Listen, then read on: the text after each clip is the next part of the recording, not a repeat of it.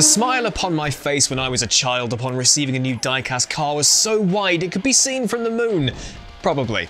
For younger generations, toy cars are a window into an imaginary world where insurance premiums and traffic jams don't exist where the living room is a racetrack, devoting boundless energy to the very important task of winning the Sofa Grand Prix. If you showed any four-year-old that you could turn their Hot Wheels collection into a living, breathing, on-screen experience, I'm sure they will throw their mashed potato on the floor in excitement. Well, they do that anyway, but this would be with extra special vigour that means that you'll be discovering blobs of food around the house for the next six months. Hot Wheels Unleashed manages to do this with such flair. It really is toy cars coming to life.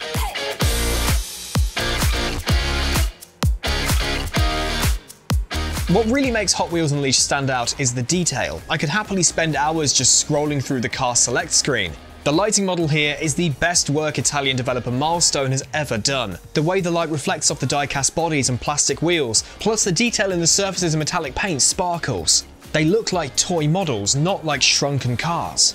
There will be over 60 in the final game, and there were 28 in this early preview slice of the game. Each is distinctly different and based upon real-life fictional Hot Wheels models. There are takeaway delivery cars, wacky futuristic racers, and even school buses and tanks. But what would be the point of all of this exquisite detail and vast vehicle choice if they all drove in the same way? This is where Unleashed separates itself from previous licensed cash-ins because there is real depth to the vehicle performance.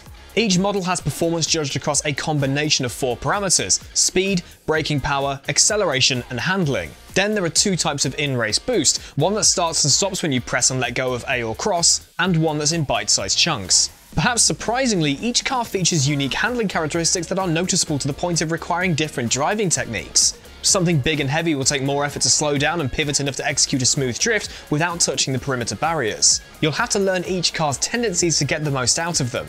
That's if you're taking things seriously, that is. You could just simply stick the game on easy or medium and just marvel at how the level design embraces verticality. Set inside four locations, for now, two more will be revealed soon, and across nine track layouts for the preview, each is labyrinth in their construction, the famous orange plastic tracks sprawling across the area. Much like the vehicles, the lighting effects here are impressive and every facet of a Hot Wheels playset is perfectly recreated right down to the almost imperceptible ridges in the surface to the sound of plastic wheels running over the surface or clanking into a wall. The surrounding setting is rich with detail and the variety of layouts is bordering on astonishing. Over 40 will be in the final game alongside a custom track builder. Some events will see you jump and bash around a circuit for several laps, while others will be point-to-point -point affairs set across longer routes. It's the latter race setup that will have your mouth agape with wonderment as you discover a track for the first time. A start line inside a toy dinosaur's mouth, massive jumps into a metropolis landscape, loop-the-loops that will leave you gasping for breath. There is so much going on here. There are even branching elements where you have the choice of two paths, reminiscent in some ways of the MotorStorm games, but on a smaller scale. You may come across a spider that traps you in its webs, requiring you to boost away from the sticky silk, or a set of fans that will blow you off the Optimum racing line. There are boost pads to drive over like in a Wipeout title, or electro strips that top up your boost level. We unfortunately couldn't try the online multiplayer in this preview, but local split screen was available and it works admirably, with no noticeable reduction in visual fidelity, although we'll have to see how it stands up on Switch or last gen consoles upon release. A key gameplay element, progression, was also absent for now. Perhaps understandably, the main Hot Wheels City Rumble career mode was off limits, just a series of quick races. The cars available each had a rating pertaining to their scarcity, from common to super treasure hunt. How the collecting and upgrading of models is handled in the final release will be crucial to the game's longevity. Aside from the Prince aping funky menu music, there is a lack of energy from the audio during the racing.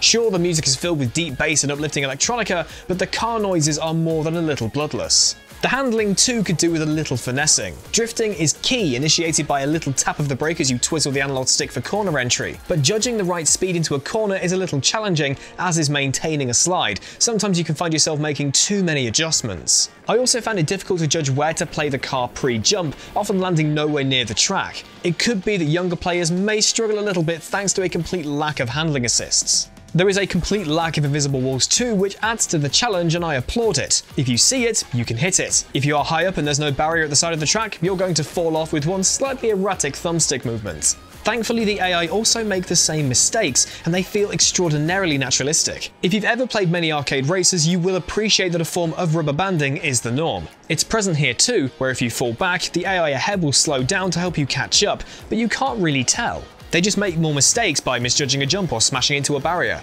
This is not a finished version of the game, so we can't be overly judgmental. I think some handling characteristics and difficult balancing is required, the latter will definitely be addressed ahead of launch according to the developer. Also, right now there's only one camera angle and replays don't feature any trackside cameras. But the diecast models, visuals, and track designs are all spot on, and provided you select the right vehicle for the right venue, Hot Wheels Unleashed should reinvigorate a somewhat stale arcade racing genre.